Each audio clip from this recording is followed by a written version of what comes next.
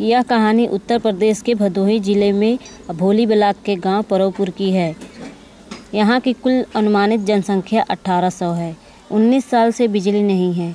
बिजली न होने से यहाँ पर बहुत सी समस्याएँ उत्पन्न हो रही हैं।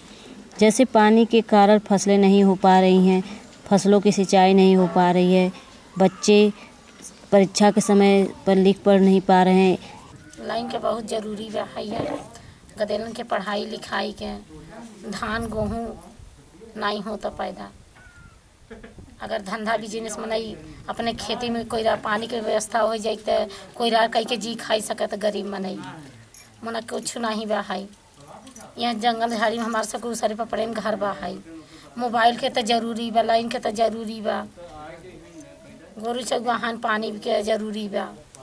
बहुत दूर से अगर हम सब पाइप से पानी ले आवत है तो जे अपन खेती में बोए बा तो अपन पाइप नहीं ले जाए देता है कि हमार बुढ़ जाए तो फिर जौन बोआ तौन जामे नहीं जैसे जे पहले बोई दिहे बा, और हमें सबके बाद में आवता पानी। ओकर खेत में किले नहीं आवे देता।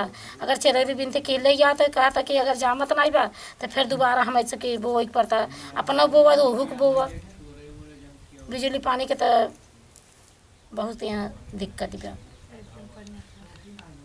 लड़कियों के परीक्षा आई के बा बा परीक्षा होता।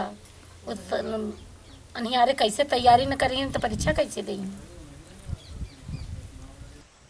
वीडियो देखने वाले सभी दर्शकों से अपील करती हूँ कि बिजली विभाग अधिकारी जेई के मोबाइल नंबर चौरानवे तिरपन ज़ीरो सैंतालीस दो सौ अस्सी पर कॉल कर दबाव बनाएँ, ताकि उनके यहाँ बिजली की समस्या दूर हो जाए। मैं केसा देवी उत्तर प्रदेश से, इंडिया लिए